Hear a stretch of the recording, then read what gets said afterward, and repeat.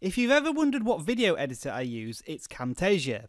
It's just been upgraded to version 9 and I want to journal my experience. So this is 10 things I like and dislike after using it for 24 hours. For some reason it adds the audio point where you right click your mouse cursor. I would prefer this to be the playhead because it's much more accurate and this seems a little random and clunky.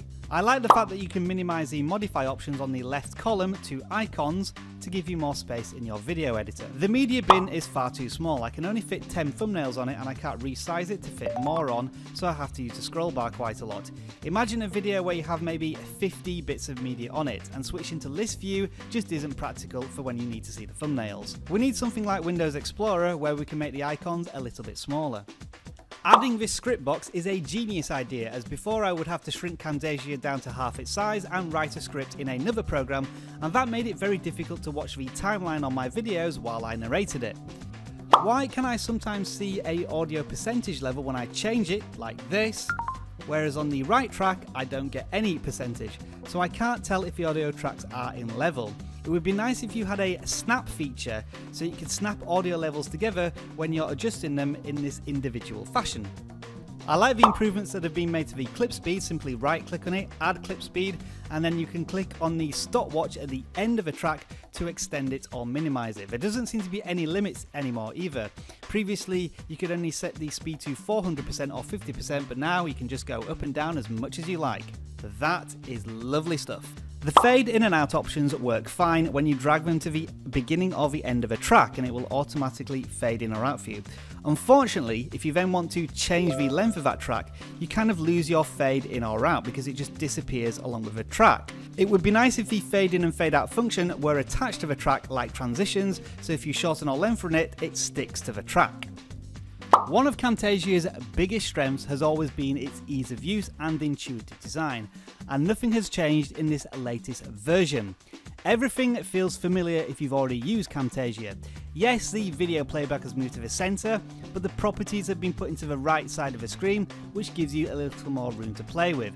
And everything from the animations to adding media to changing audio is pretty similar if you use the program before. And if you've never used the program before, Camtasia is very easy to learn as a video editor. If you were to put Windows Movie Maker as a beginner's video editor and Adobe Premiere Pro as an expert professional grade video editor, then Camtasia definitely falls somewhere in between. It has lots of functionality, not quite the richness to create superb video quality, but in terms of functionality, there is a lot going for it. Okay, video editing finished. Let's go and produce the video. Local file, I'll do a custom setting because I want to change the frame rate up to 60 frames a second because it is 2016 and I should be able to do that. What? So far, I have been very impressed with the stability of Camtasia 9. It hasn't crashed on me once and I've had it for 24 hours.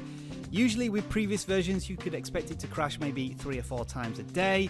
It would fall over gracefully and you wouldn't lose any work, but you'd have to almost restart your own mind to get back into things and if you had lots of things copied and ready to be pasted, it would be annoying to have to go through the whole process again. But so far Camtasia 9 has been perfect, but I haven't thrown too much at it yet. Also, render times do seem a little slower than before, but they're still acceptable. And that's my first 24 hours of what will be many thousands of hours using Camtasia 9. I very much hope the developers watch this video as I would love to engage them in improving a product that has transformed my video making. And if you're a Camtasia 9 user, I'd love to hear your thoughts too. Now, Camtasia 9 is not free, but you can sign up for a free 30 day trial, although that will put a huge watermark on your videos. Links in the description. Thanks for watching and enjoy the rest of your tech day. Bye for now.